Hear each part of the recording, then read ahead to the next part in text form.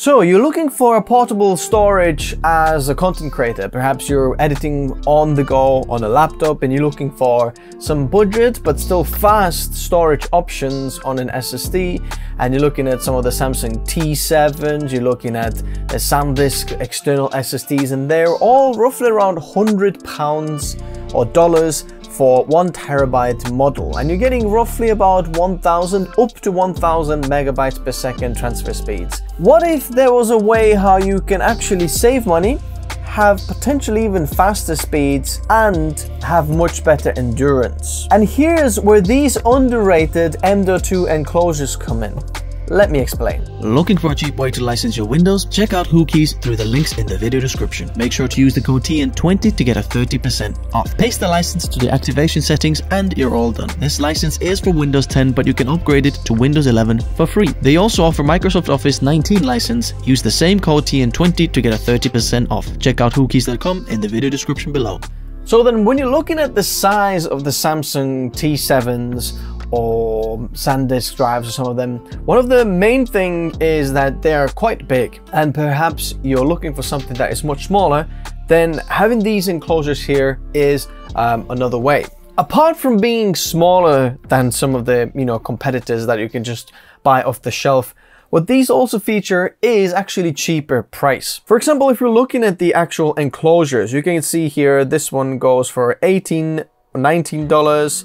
There's some of them more expensive. This one here is actually $15, $18, $19. So you can pretty confidently pick up one that's around $20, right? And then the other question is, which SSD should you be using? Because you can go with very high-end M.2 SSDs, but actually that's not really the point here.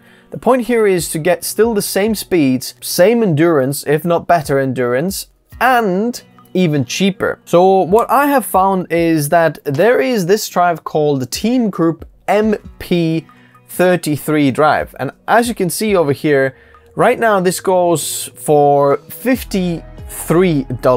$53 for one terabyte, which is absolutely ridiculous. Then if you buy a two pack of these, you actually save $1 and it's um, $104 for 2 terabytes. If you want to go with the 2 terabyte model, it's $158, which is not actually the best bang for buck and perhaps you're going to have to look for a different drive. But for 1 terabyte model, it's very hard to beat this SSD right now. And you might be looking at the specs and saying, look, it's only 1800 up to megabytes per second read and write speeds. It's not even Gen 3 kind of maximum speeds. But the thing is, most of these M.2 enclosures are actually 10 gigabits per second enclosures and that's going to be the max cap for you which theoretically means up to 1250 megabytes per second speeds. So that drive's going to be plenty for that. But let's say you want to pop this later on into your PC if you wanted to you actually get even faster speeds than what you get on the enclosure which is even nicer and then the other thing I want to talk about this is the actual terabytes written spec of this. Now these drives, one terabyte drives come at 600 terabytes written spec over the five years, which basically means that you can rewrite 30, roughly around 30% of the drive every single day. So for here, that would mean 300 gigabytes every single day on the drive, off the drive. For example, if you're doing recording on the likes of Blackmagic, here what I'm recording. I'm using one of these uh, solutions. You can record 300 gigabytes every single day for the next five years and it's completely fine.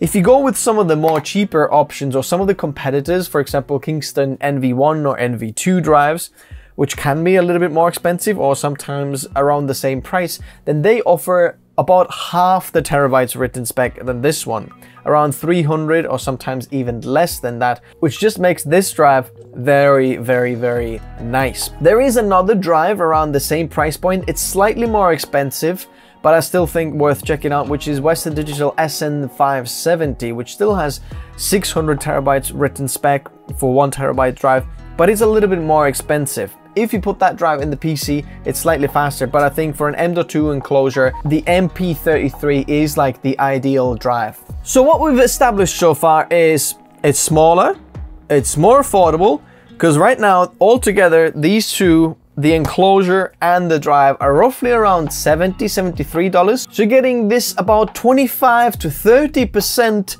cheaper than a Samsung T7 for example. Now is how do you actually build this, right? You can go with all sorts of these enclosures, but there's some of the things that you need to look out for an enclosure. Some of them are not very good operated and are not very good. But this one over here is a new one from a Team Group. This is EC01.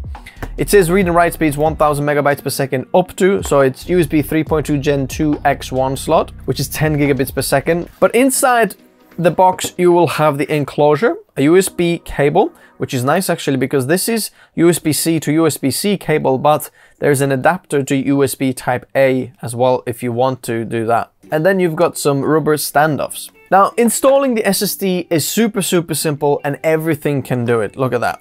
So any of these enclosures will have some kind of uh, access to inside the case. This one here has a rubber enclosure around it to make it very, very nice. But also, if you look around here, there's actually a grill which lets a lot of the heat anticipate, which keeps the drive much cooler than some of the other ones uh, you might have on the market. And this is one of the things you want to look out for is something that has good cooling for the drive.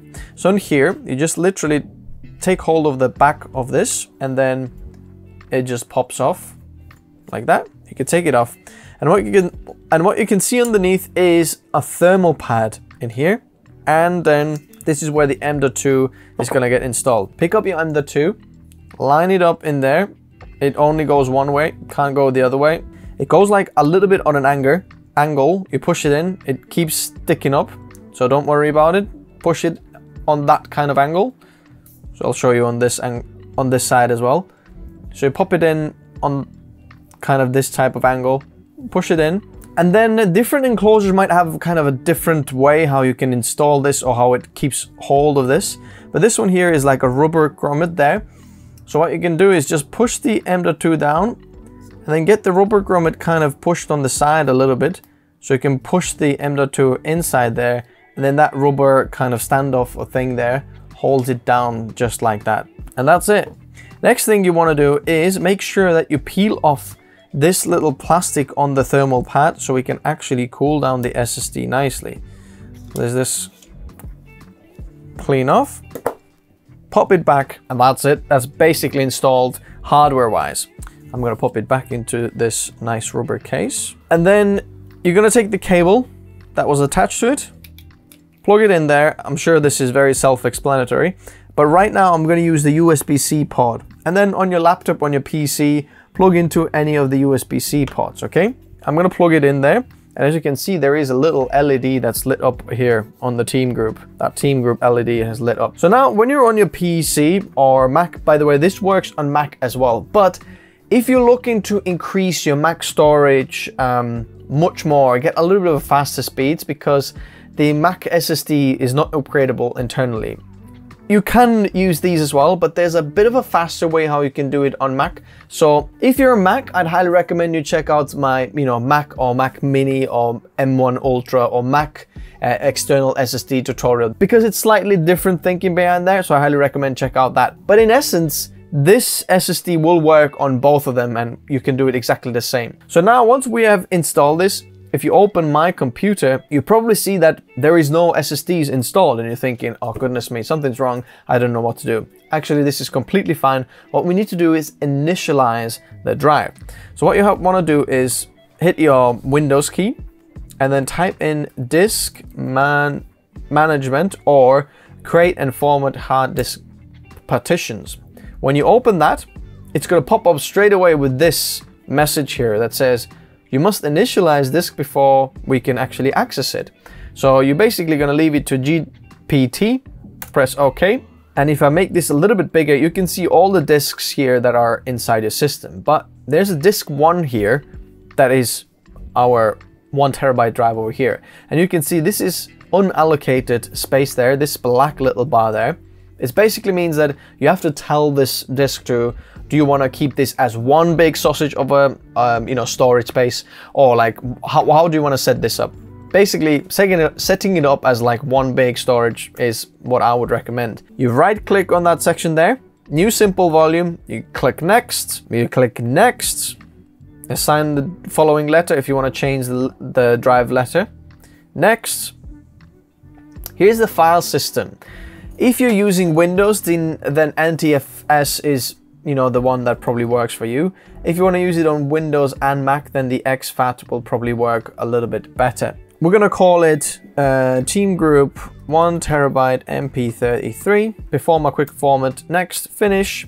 And boom, what you see is straight away Windows sees, ooh, there's new SSD installed, and now this space has gone blue instead of black. And if we go to our My Computer, you can see, voila, here it is. You can open the drive and then it's accessible here and you can easily just um, drag some files in there. Boom, did you see that? That worked very, very well. What we can do now is actually see how fast is this SSD. Now I have plugged it in onto this USB-C port, so I'm not sure what speeds of this SSD is in there, but we'll find out now. So one of the ways how you can do it is a CrystalDiskMark, for example, or you can get a Blackmagic disk speed test or something like that. They're all for free. One terabyte drive there. We're gonna put settings as NVMe SSD and we're press go. Look at that, read speed 1062 megabytes per second. So we're actually getting speeds faster than what we have on the, the box here.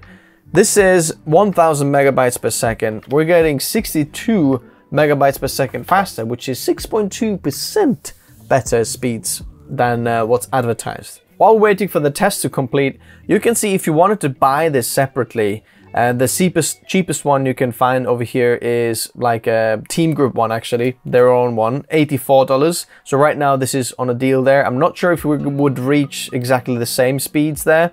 There is Crucial one, but this is 800 megabytes per second, so a little bit slower, up to that is.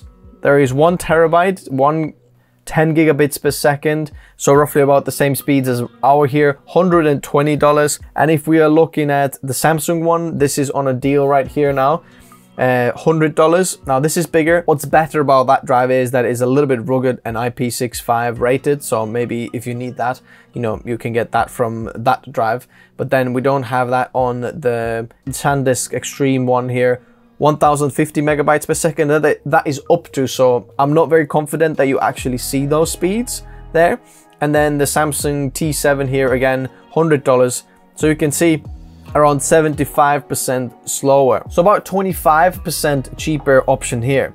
And then the write speeds here 947 megabytes per second which is still very very fast. So if you want to do any of the editing photo editing or something like that on the go, it's completely fine to do it with this drive.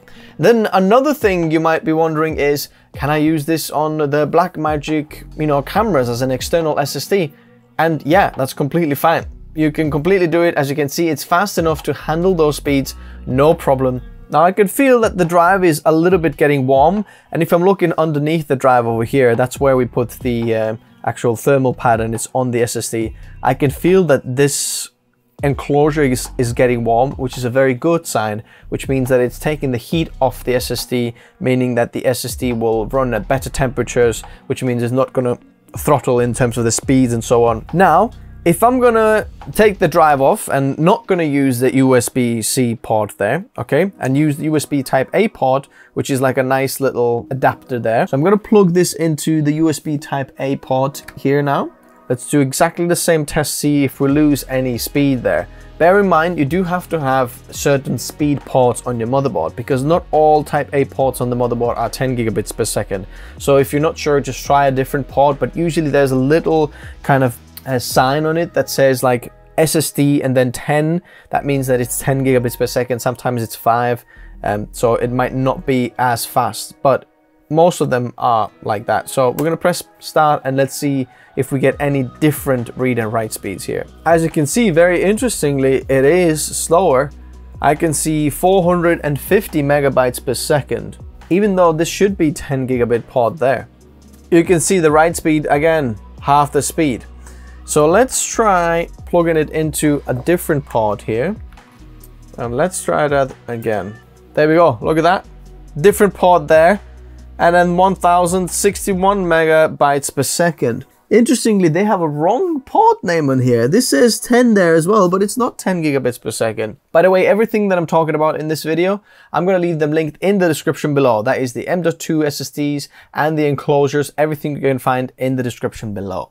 And now look at that, different port, 1060 megabytes per second and 950 megabytes per second read and write speeds. Now, what I like about this is that you do get the USB type A to type C options because a lot of the drives come straight away with only type C cable. And the thing is, it's not very easy to find a type A USB cable that is 10 gigabits per second written kind of uh, spec. Because often I have tried to use you know type C to type A cables and they're like 5 gigabits or not actually 10 gigabits rated so you're not going to get that speed. But now even if your PC or laptop or whatever doesn't have type C ports you can still use type A and get the speeds of this which is just absolutely amazing. And look how small this is.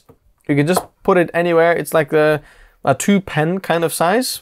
Just put it in the pocket. And there's one terabyte of storage by the way, you can have more than one terabytes in there. You can have two terabytes if you want. But if you have two terabyte models, I'm gonna leave some recommendations in the description below as well. At the time of making this video, what's the like best pricing option there? So you're not gonna buy the same drive, two terabytes model because it's actually a little bit more expensive than that because one terabyte is 53 and then two terabytes is 153, which is actually not worth that, but we can find the 2 terabyte model drive. Per terabyte, you'll get a better price. But the point is, if you want cheap, external, portable storage, then this is the best option.